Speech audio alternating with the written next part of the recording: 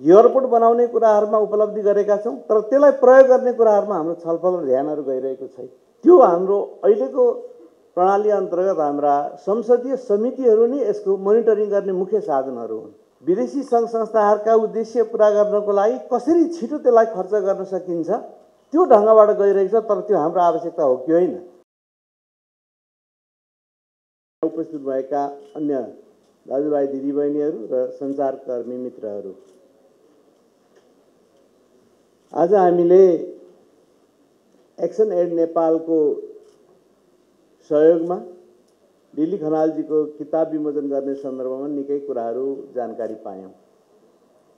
मलाई व्यक्तिगत रूपबाट विदेशी सहयोगहरूको प्रभावकारिता नेपालमा के छ भन्ने विषयमा यस्तो एउटा छलफलमा बस्ने एउटा ठुलो अवसर प्राप्त भएको छ। समयको सीमाभित्र र अन्य धेरै एउटा सीमाभित्र यसको समीक्षा पेस गर्नुहुने विज्ञज्यूहरूबाट छोटोमा भए पनि आफ्नो दृष्टिकोणबाट धेरै महत्त्वपूर्ण समीक्षाहरू प्राप्त भएको छ। म यस अवसरमा के भन्न चाहन्छु भने हामीले राजनीतिक क्षेत्रमा ठुलो परिवर्तन पछाडि अहिले यो समीक्षा गर्दैछु। यो समीक्षा गरिरहँदाखेरि हिजोको एउटा राजनीतिक प्रणाली पछाडि विभिन्न खालका राजनीतिक आयामहरूलाई पुरा गरेर अहिले हामी यो ठाउँमा आइपुग्दाखेरि समीक्षा गरिरहँदाखेरि पनि यसले हुन त अहिले पनि ठ्याक्कै हामी निष्कर्षमा पुग्न सक्दैनौँ तर वैदेशिक सहायता भनेको सापेक्षतामा हेर्नुपर्छ र त्यसको उपयोग हाम्रो आवश्यकताको आधारमा कतिको भइरहेको छ र त्यसलाई परिणाममा पुर्याउनको लागि कुन कुन ठाउँमा के के कामहरू गर्नुपर्छ। विगतको प्रणालीमा भएका अनुभवहरू बिचको प्रणालीमा भएका अनुभवहरू र अहिलेका चुनौतीहरूलाई यसलाई प्रयोग गर्ने कुराहरू कसरी जानुपर्छ भन्ने ज्यादै सामयिक र महत्त्वपूर्ण विषय हो भन्ने मलाई लाग्दछ।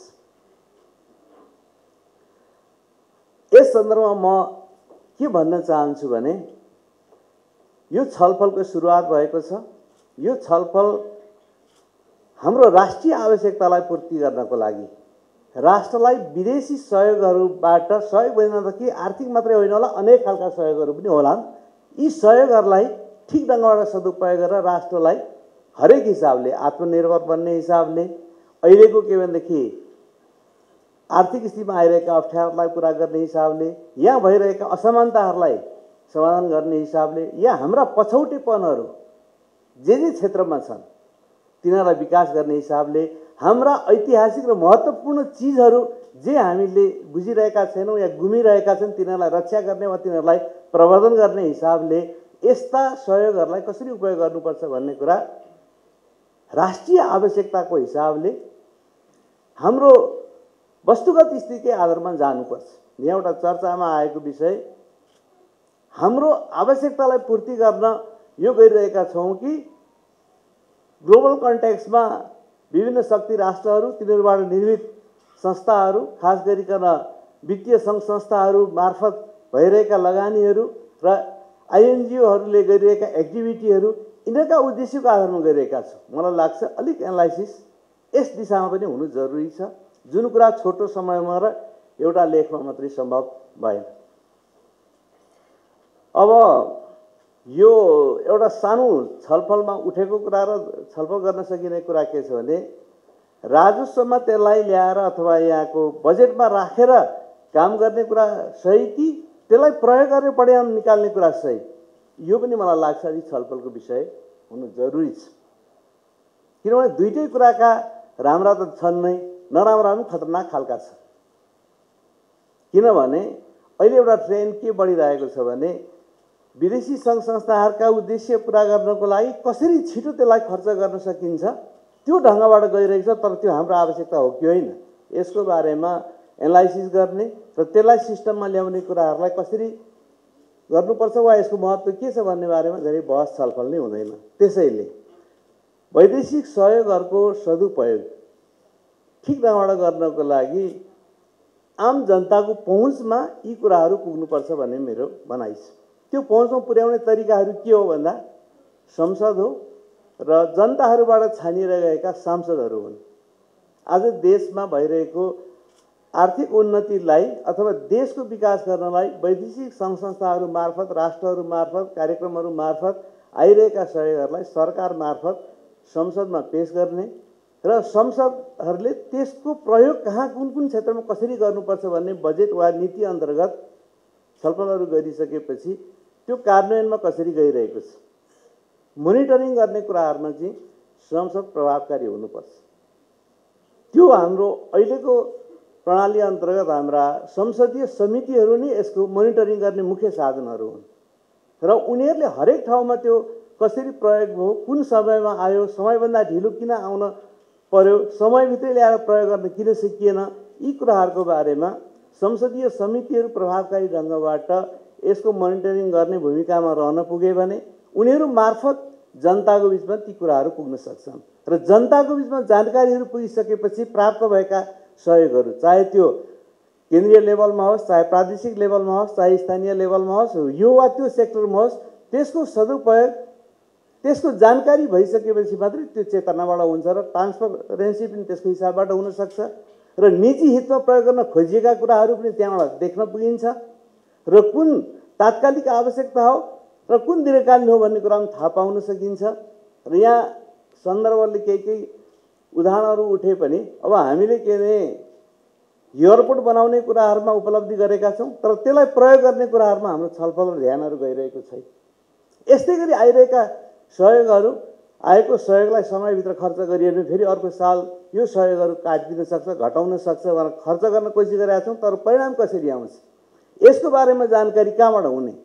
यो पब्लिकली जानको लागि मुख्य गरिकन संसदीय समितिहरू मार्फत अथवा हाम्रो विधायकी संस्था नै यसप्रति जिम्मेदार हुनुपर्छ र त्यो कार्यान्वयन गर्ने कार्यकारी संस्था सरकारका विभिन्न निकायहरू अङ्गहरूलाई उसले ठिक ढङ्गबाट हेर्न सक्यो भने कार्यान्वयनमा लान उसले मद्दत पुर्याउँछ र कार्यान्वयनले ल्याएका परिणामको आधारबाट कुन क्षेत्रमा हामीले सहयोगलाई प्रोत्साहित गर्ने हो कुन क्षेत्रमा सहयोगलाई निरुत्साहित गर्ने हो र सहयोगलाई कसरी प्रयोग गर्ने हो भन्ने कुरामा जानुपर्छ। फेरि पनि यो एउटा सुरुवात म ठान्दछु। केही टिप्पणीकर्ताहरूले भन्नुभयो हामी यतै छलफल गरौँ। म त भन्छु त्यता पनि छलफल गरौँ। विभिन्न ठाउँ ठाउँमा छलफलहरू गरौँ। त्यसमा पनि यतै पनि विज्ञहरू अगुवाहरू अनुभव प्राप्त गर्नुभएकाहरू जिम्मेदारीमा बसेकाहरू भोलि जिम्मेदारीमा बस्नुपर्नेहरूले एक ढङ्गबाट गरौँ तर देखिरहनुभएका भोगिरहनुभएका अध्ययन गरिरहनुभएका विभिन्नको बिचमा छलफलमा लैजाउँ र यहाँ छलफलबाट आइरहेका कुराहरू वा निकालिएका निष्कर्षहरू फरक फरक कुराहरू पनि जनताको बिचमा पनि पुर्याउँ।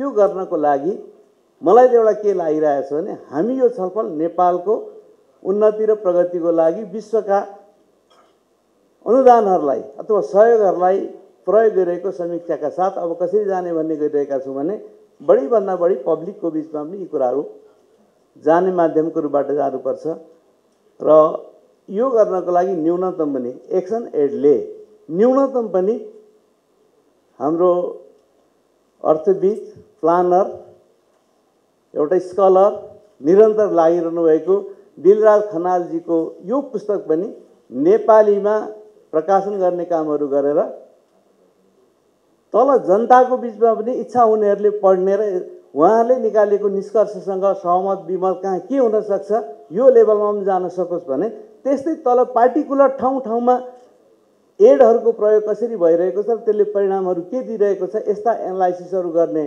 कार्यक्रमहरू चलाउने र त्यस्ता के अरे स्कलरहरूले अथवा अध्ययन गर्नेहरूले चाहिँ त्यसको समीक्षाहरू गर्ने त्यो समीक्षाको आधारमा राज्यले बनाउनु पर्ने नीतिहरू केही छ। नीतिमा त्यसलाई करेक्सनहरू गरौँ। नीति कार्यान्वयनमा समस्या छ भने त्यसलाई अब्जर्भेसन गरौँ न कार्यान्वयनलाई ठिक ढङ्गबाट लाने र दीर्घकालीन परिणाम पनि निकाल्ने गरी जाने कुरामा भूमिका खेलौँ। यति कुराहरू राखिसकेपछि मलाई फेरि पनि प्रमुख अतिथिको रूपबाट बोलाउनु भयो सुन्ने अवसर प्राप्त भयो। छलफलको एउटा सुरुवात भएको छ।